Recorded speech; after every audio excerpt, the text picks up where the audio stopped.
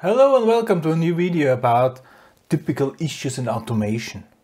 Last time we talked about sequence of signals.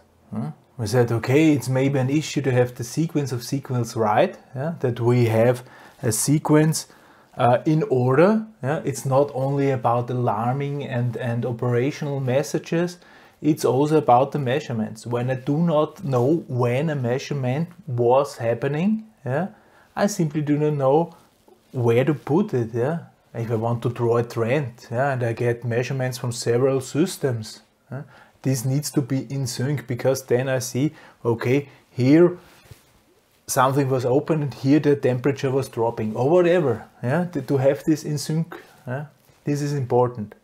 However, let's say we have solved this. Because we covered this in last video we were aware of this. We used some technique to resolve this and this is all perfectly in sync. At the same time we know exactly when those measurements are happening. Everything is fine. Now we're going to talk about another issue called aliasing what this? Is we'll see. Because actually our automation systems does take snapshots of a measurement you know, it's not recorded continuously. It's recording a value and a time afterwards again a value, again a value, and it's writing those values usually in some sort of database. So I only have snapshots of the signal. I knew exactly at this time it was that high, at this time it was that, it was this time it was that. Yeah, I took snapshots. Okay. Now we're going to look what it means if we do that. Yeah?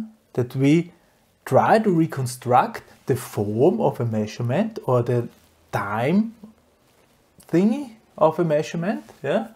Uh, when we are taking snapshots. I prepared here a little something. It's just, you know, it's just uh, an Excel sheet. Yeah? And I'm just using a sine wave. Yeah?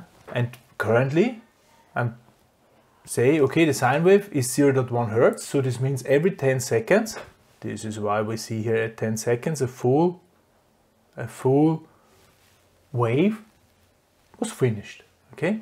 And I said twice a second, I'm recording this because you know every 500 milliseconds new data point is written into the database and these are those circles yeah at 0 seconds at 0 0.5 seconds at 1 second at 1.5 second tuk, tuk, tuk, I record this what we currently see here is an orange line this orange line is the reconstructed measurement and underneath there's a blue line yeah and since we don't see the blue line it seems to fit perfect okay so I have enough snapshots that this looks okay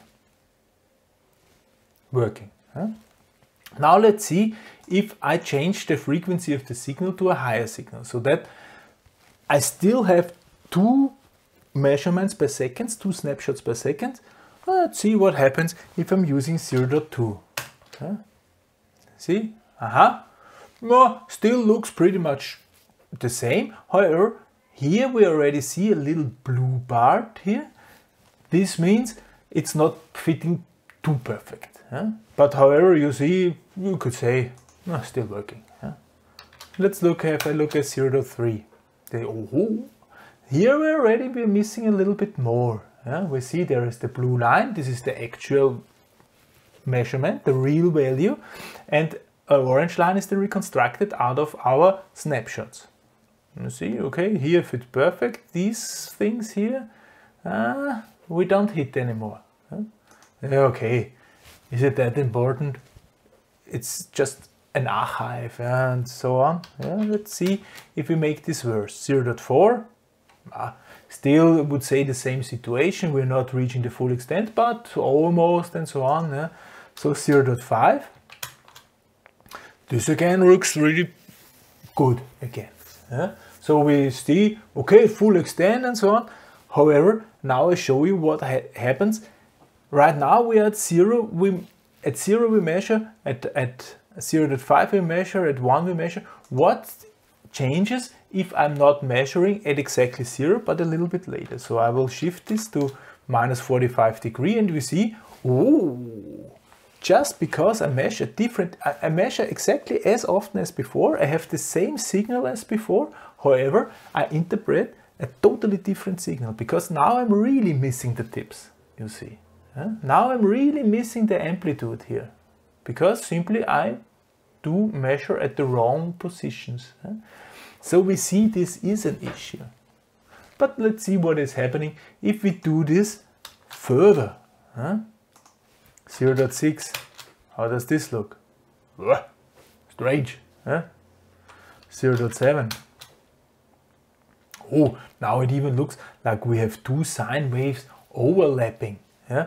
So one with high frequency, one with low frequency. And, in reality, it's still a standard sine wave.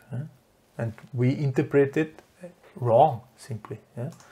0.8 uh, one high, one low, one high, one low. 0 0.9. Yeah. Ooh, we have a Schwebung. Uh, it's called in German. Yeah. So it looks like woo, woo, woo, woo, louder and light, uh, louder and silenter, or whatever. The if this is vibration or whatever, at least the frequency is still okay. Yeah. One, yeah. book, extreme, huh? nothing. Nothing left. There is something going on, and I real. If I look at my recording, there was nothing going on. That's a very bad case. Huh? Let's see what is happening here if we do phase shift. Aha, suddenly something going on just because of phase shift. I recorded exactly at the same frequency, the, the signal is the same, and just because I'm looking at it at a different time, but also cyclic, I have suddenly a signal. Huh? At a minus 90 degree, I have the full signal. Isn't that interesting? Yeah. I, so with this frequency and this snapshot frequency, I could see the, either the full signal or nothing, depending on the point in time I start my measurement. Eh? Aliasing, aliasing, aliasing. This is not that great. Yeah? 1.2, we've seen such a thing. Yeah? 1.3, yeah? now it seems like it is repeating itself. Yeah? But however, maybe some of you already noticed, ooh, I have to enter the correct, the frequency has changed. Let's have a look at this. Here we see it perfect. The blue line is the actual, what is actually happening, and the orange line is what I'm interpreting. You see the frequency is only third. We think it's In reality, it's. We don't even see the frequency anymore. Yeah? If we are too too slow for this. Yeah? Two is also interesting. In sync. Yeah? If we are exactly in synchronization, we see either nothing or if we are moving again the position, we see it like it would be stable, but in reality it's, it's changing quite rapidly. Yeah? But in our database, it looks like it was a stable measurement. This is a aliasing effect and this is an issue. This we will have. 2.5, you see it's now repeating itself, this pattern. Just it's getting worse. It's getting worse and worse. Uh, 3, 3.1, let's have a look at this. Oh, again a nice Schwebung yeah, with different frequency and nothing fits anymore. This is aliasing. This is the aliasing effect. And this is purely coming out of the fact that I'm only looking at those things at a certain rate. So that's saying, okay, I make it simply fast enough. Hmm? Make it fast enough, look as often as possible. However, I would generate quite a lot of data and probably unnecessary data. Because if we think about, I don't know, a bearing temperature, just because I want to get everything on the bearing temperature, I store the bearing temperature every, I don't know, 10 milliseconds. Yeah? There's changing nothing, usually. Yeah? The bearing is as hot as it gets. However, in failure case, if there is some chip falling in or if the cooling liquid cooling cycle is, is, is broken or whatever, then the, the, the temperature of the bearing would increase rapidly. Yeah, then I would be glad yeah, to have this. However, most of the time it does not really matter. Yeah? And I'm just generating load on the network, memory space in the database, which is just not necessary. Yeah? So, what to do? One possibility is that we do it like this. We say, let's keep at the example of the bearing temperature. We say, okay, bearing temperature usually is changing not too much, so every 30 seconds should be okay for us. Yeah? We record every 30 seconds the bearing temperature. However, like I said, if there is a failure case, I would be interesting to know in between also. And this we could do in say, okay, make it cycle every 30 milliseconds, uh, every 30 seconds, sorry, milliseconds, every 30 seconds. And uh, however, if the temperature is changing more than 2 degrees, also inform me. Okay? In between. So make, if there is change going on, make information in between. Hey, this would work. Huh? Because then I'm breaking this aliasing effect, which is only appearing if I'm in sync or cyclic. Yeah?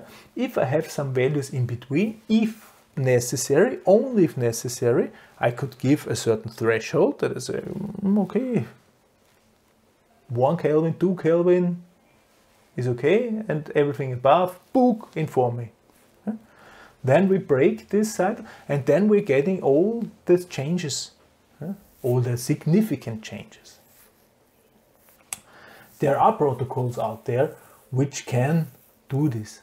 6870 for instance, IEC 6870. This is exactly doing that. Uh, uh so, you see, you should be aware of this. This is the goal. Yeah? And since automation is such a broad field and such and such specific field for the application, yeah, I think that's pretty much what you're going to hear from me. You know now how an automation system looks like, you know now the features of an automation system. You can, with the historical development, uh, think about why this is looking that way and, and why it was developed that way. Yeah? You know some typical issues. Yeah? So you should be able to, to plot or use your this knowledge to adapt to your specific situation you're facing there. Yeah? So this is why I think we're done with automation. Yeah? Combined with all the other stuff we talked about, control technique and so on. Yeah? Or for automation, for this automation overview, that's it from my side. All is left for me to say is thank you very much for listening. Goodbye.